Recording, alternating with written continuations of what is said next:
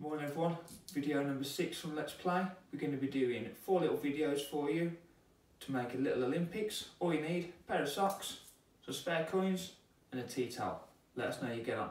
Hi guys, we're going to do the speed jump challenge. You just need a timer for 30 seconds on, a book, and then you're ready to go. So I'm going to start my timer now.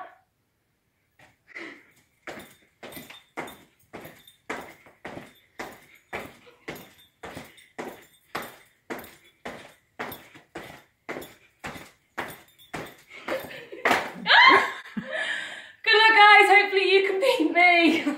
This activity is standing long jump. Take your towel, put it on the floor, get your toes just behind it, jump as far as you can forward, get one of your coins, stick it behind your heel and have three goes. See how far you can get. Good luck.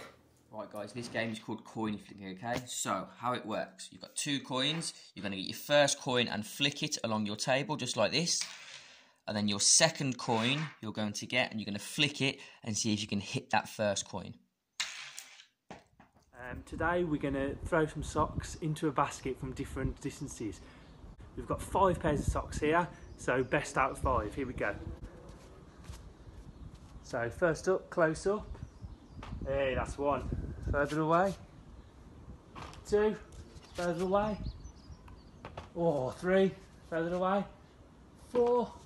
Further away. Five. Oh, close. There you go everyone, that's your four activities. Let us know you get on.